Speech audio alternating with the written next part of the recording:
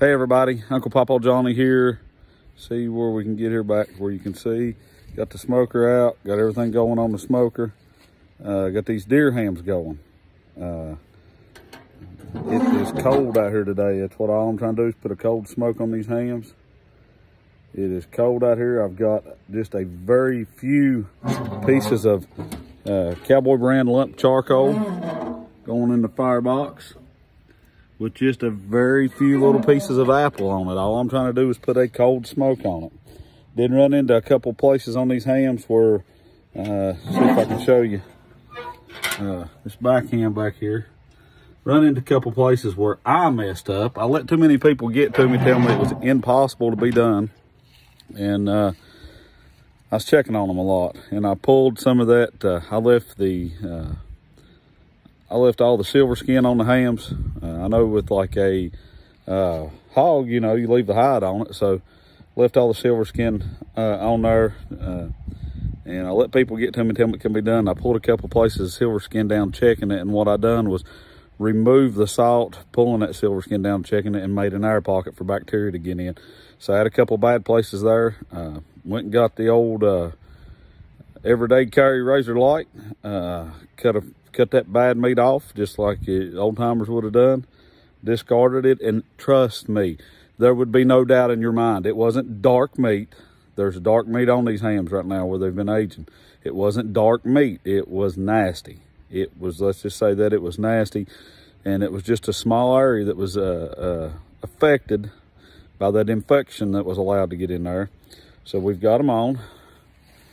Got a smoker going here with the uh, Oklahoma Joes, bought on Facebook, used on Facebook Marketplace. Uh, going to try to keep this going. Uh, it's supposed to get extremely cold here tonight. Uh, we'll try to just keep a few pieces of lump charcoal on there and just enough apple wood in there to get a smoke. See, my temperature gauge isn't even registering yet. I don't want it to register. Maybe it get up around 100 a little over 100 would be fine, but I just want a cold smoke. That's all our old timers done when they done it uh, and they cured these out. That's all I'm trying to do. Just put that cold applewood smoke on there. So y'all stay with us, see what we can get done here. Uh, God bless y'all because it's going to feel to me like forever until I talk to you again, but it'll only be a matter of seconds for you. So, it's been about 12 hours temperature is just right around 100. It has got up to 150 on me at one point, but I was able to get it back down. Uh, they are got a lot of smoke color to them. Uh, trying to let this go on into the morning. Applewood uh, seems to be working pretty good. I have uh, turned these over a couple times. Just trying to keep the, the smoke. Of course, I know it's getting all the way around them, but just try to keep the heat.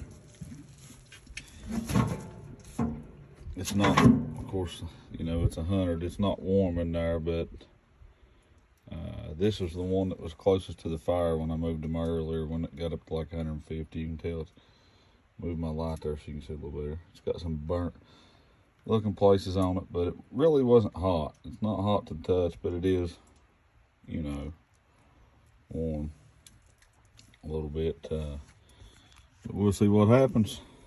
Keep watching. Well, I'm gonna try to make a video here.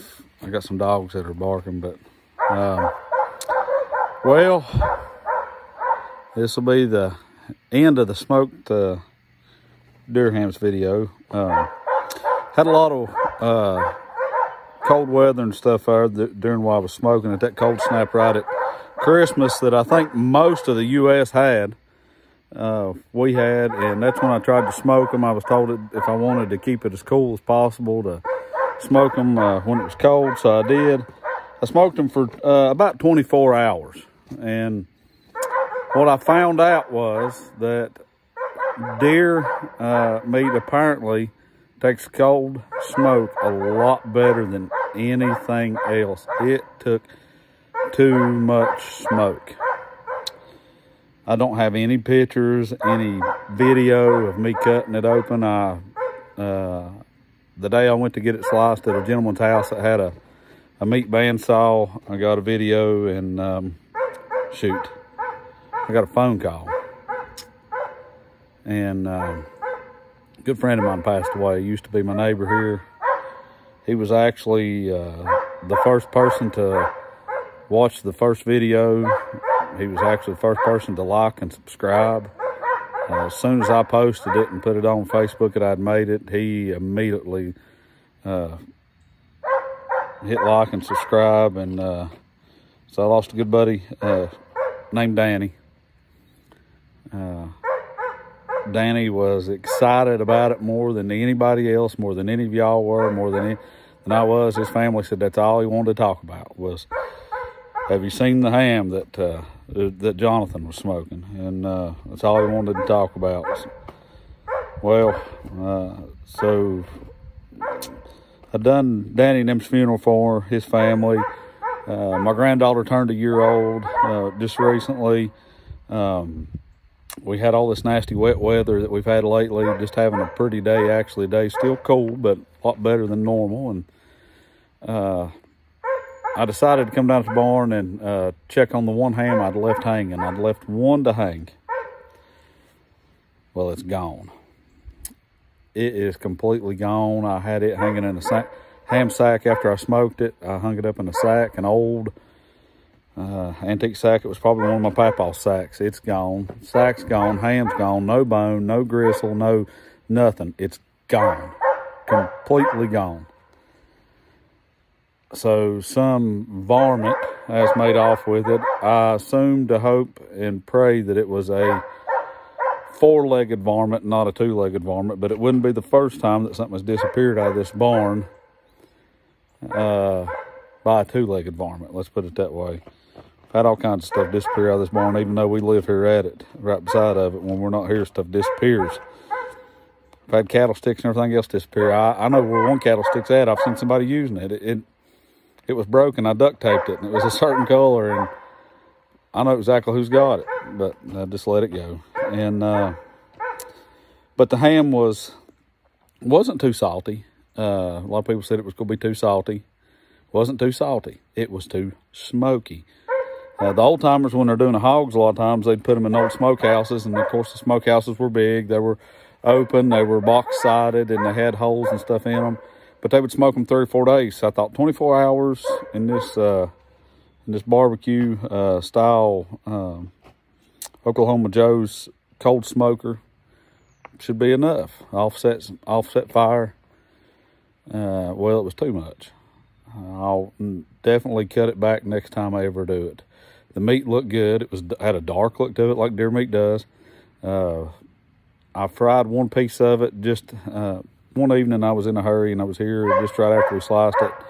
I throwed it on and fried it uh, with a little bit of butter, and it was fairly good. It was just way, way, way too smoky.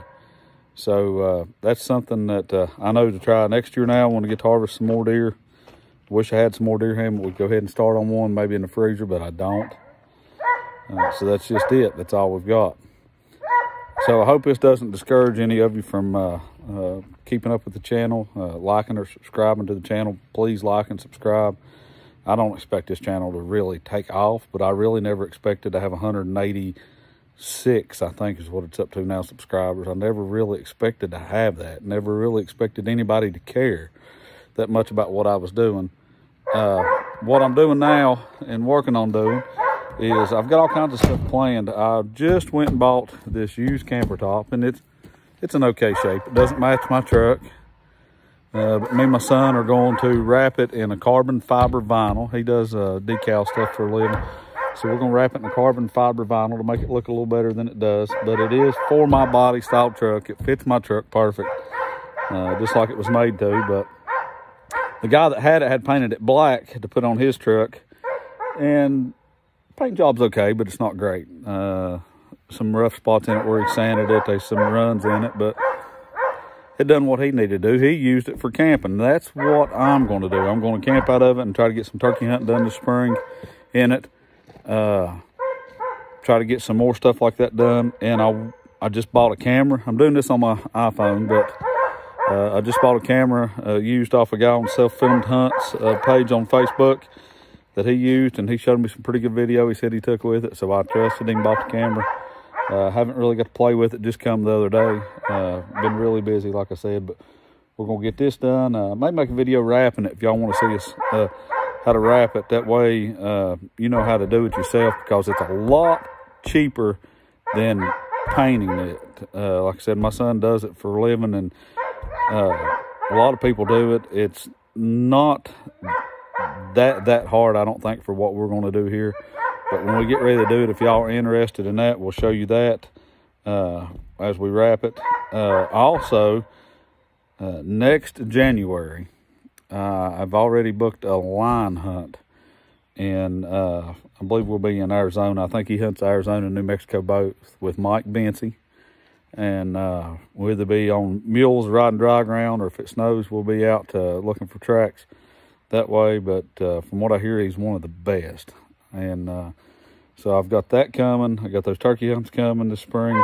Might try to do some fishing and stuff for y'all if y'all want to see it. I'm not no great fisherman uh, but i don't want to just do hunting videos like i said this is stuff for uh, for us country people and stuff that we like and and just different things like that. I've got a taxidermist that does my turkeys. Uh, the only turkey I like for a Grand Slam is the Merriam, and I won't get to do that this year unless just by some means that God greatly blesses me and lays a Merriam hunt in my lap. If y'all got Merriams out there and you live out west where you got Merriams and you want to bless me, hook me up. I'll come out there and we'll hunt Merriam turkeys. But uh, uh, I'm going to go to my taxidermist and they're going to let me video, uh, supposed to let me video them skinning a turkey out. Because if you're like me, you don't want to waste that breast meat. But some of these turkeys you like to have a mount of. They'll show us how to get that turkey skin out uh, to where they can still mount it and still get it together. And uh, But before you do that, before you watch that video and everything, and I'll tell you when we do the video, before you do that, talk to your taxidermist, show them the video, and see if that's what they do. If not, I'm pretty sure I can get you hooked up with my guy. You can ship your stuff in, and they'll get you hooked up uh, there. They do a really good job. Uh, mountain turkeys, that's, that's what they do. They do birds and fish. That's about that's all they do anymore. But uh, I've got that stuff lined up. Uh, I want to show you a, a neat little uh, trick I'm going to do with a garden in my flower bed some stuff we're going to do, and I'm going to start on it really, really soon. This is the first part of February. I'm going to start on it really soon. Something neat, cheap uh, that you can do. And like I said, I live in the middle of nowhere, and I've got these dogs and stuff, but uh, I can't even grow a garden. There's so many deer and groundhogs and other varmints out here running around that we can't even grow a garden. Uh, we've tried it in the past, and as fast as we plant the plants or plant the seeds and they come up, it's gone. Uh, we can't keep them run off of it or run out of it. Can, can't do anything about it. It's just too much of uh, that kind of animal out here. Rabbits, groundhogs, uh, deer that just absolutely devour uh, anything I put out. But we're going to try this in the flower bed, and we're going to start early and make a uh, modified type greenhouse. Uh, if y'all are also interested, I've got a buddy that just opened a um, barbecue place a while back, and he's smoking meat there. And uh, he smokes his own meat. He don't have any of this cheap stuff brought in like a lot of uh, barbecue restaurants do or people that claim to sell barbecue.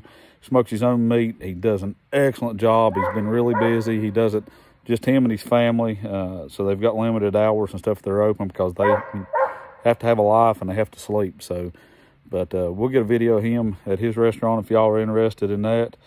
And uh, we'll just do some neat little things here and uh, we'll show God's great outdoors and the things that he's blessed us with. Um, once again, if y'all will like and subscribe to the channel, I'm sorry.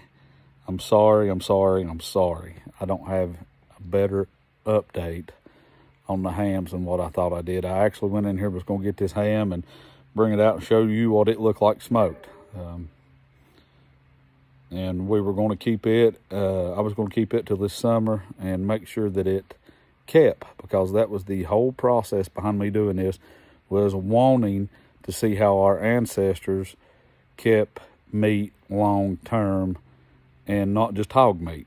Uh, I wanted to see how they kept their game meat too. So this didn't work out for me.